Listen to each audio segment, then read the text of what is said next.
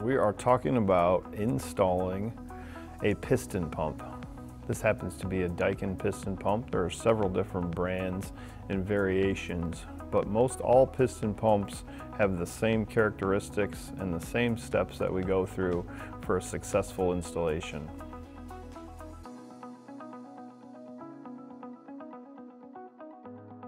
Obviously you're mounting your pump here to the motor um, and you're connecting your suction port to, from the tank to the pump and you're connecting your discharge port, your high pressure port out to your machine.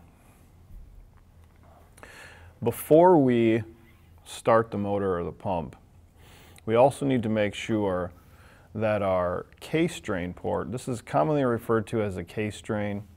This generally will go through a heat exchanger or at a minimum needs to be an open uh, to the tank. So you cannot just plug this port.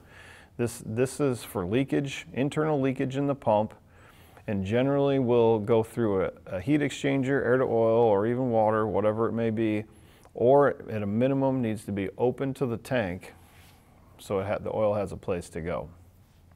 So we've connected our suction line, our pressure line, our case drain line. Before we start the pump, we need to do one last thing. We need to fill the case of the pump. This is basically how you prime a piston pump. You can fill through this port if you already have it disconnected before you start your install, or if you've already connected here, you can remove this plug to fill this case. So we basically want to completely fill this pump all the way until oil starts coming out the top. When you're getting oil out and you know it's full, that gives your pump a much better chance to prime on startup.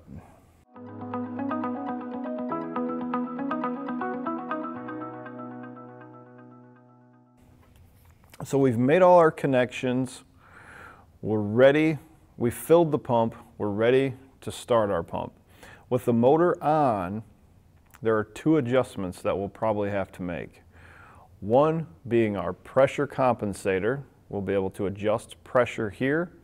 Two being our flow control. And this is our adjustment here on the back.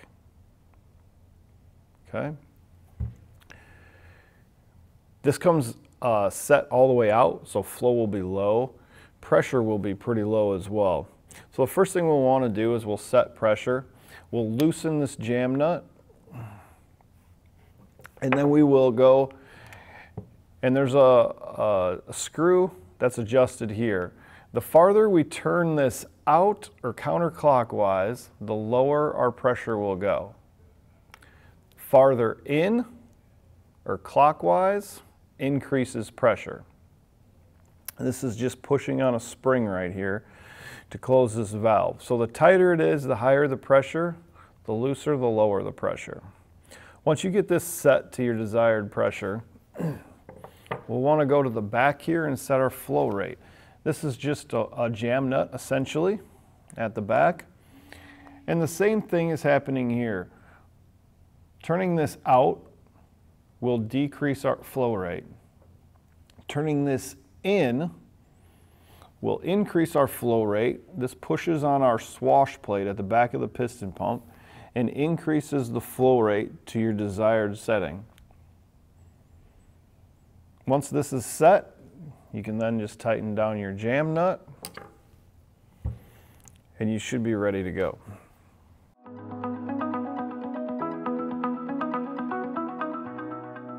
So if you've gone through the full setup procedure and you've turned your motor on and you're still having trouble getting your pump to prime, a couple things we still want to check at this point. Uh, number one, make sure that your oil level is sufficient in the tank. Number two, potentially you have a suction strainer or some sort of uh, problem with the flow into the pump, so you may want to check that as well. Ultimately, if, if you have the pump filled with oil, you have your case drain port connected to the tank, possibly through a heat exchanger, and you have good flow on the suction side, you should be able to get this pump to build pressure. If you've gone through all these steps of setting up your pump and you're still having trouble getting this to run, give us a call for technical support or we have field service technicians available upon request.